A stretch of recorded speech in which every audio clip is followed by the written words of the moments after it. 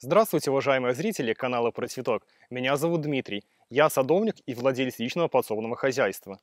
Еще лет 20 назад сложно было представить такие культуры, как дыня и арбузы на наших огородах.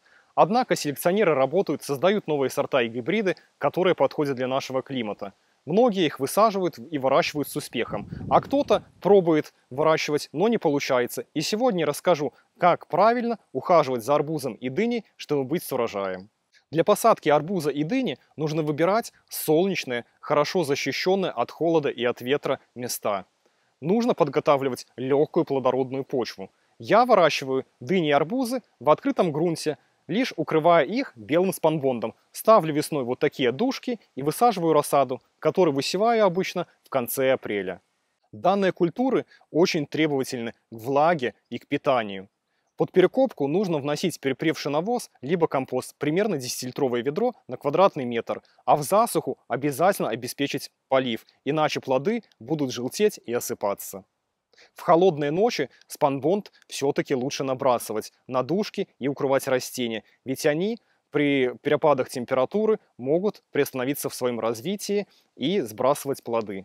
Поэтому, если ночь холодная, не поленитесь и накиньте белый спанбот на грядку. Чтобы получить хороший урожай арбузов и дыни, нужно не только проводить поливы, подкормки и обеспечить их питанием, но также нужно проводить и зеленые операции, своевременно удалять пасынки и прищипывать побеги. Сейчас я вам расскажу, как это сделать.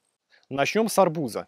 Первая операция, которую мы будем делать, это посынкование. Арбуз в нашем климате обычно формирует в одну-две плети. Остальные плети и боковые побеги, пасынки нужно удалять. Если оставить все плети и не посынковать арбузы, то будет образовываться много завязи, и плоды попросту не успеют вызреть до осени, и арбузам попросту может не хватить питания, чтобы вытянуть такой большой урожай.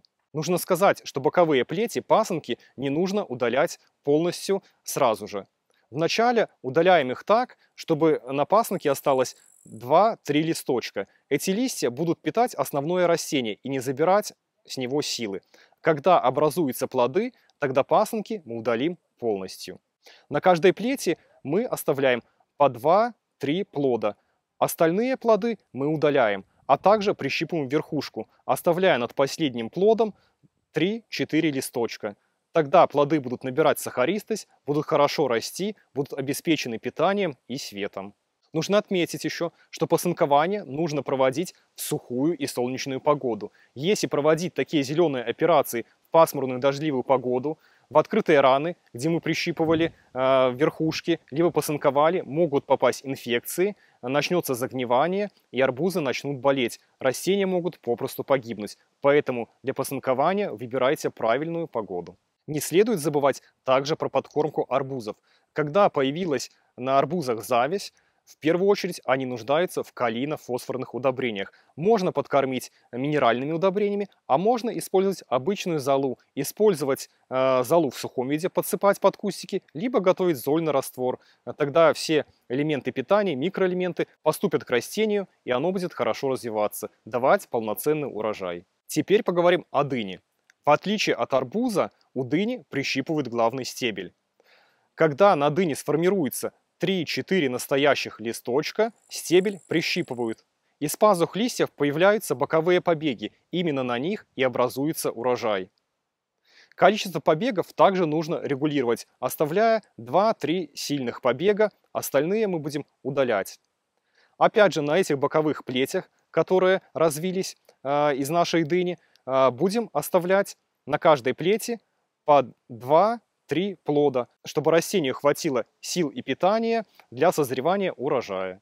Однако, кроме сортовых дынь, есть еще и гибриды F1. Их формируют по-иному. Основной стебель не прищипывают, а прищипывают лишь верхушки боковых побегов, когда на них образуется по 3-4 настоящих листа. Когда на этих боковых ответвлениях появится завязь, примерно 3-4 штуки дынек, тогда прищипывают боковой э, стебель, как и у арбуза, оставляя над последним плодом несколько листочков. Из боковых плетей второго порядка могут пойти пасынки, плети третьего порядка. Их обязательно нужно удалять. Они лишь отнимают силы и питание у основного растения.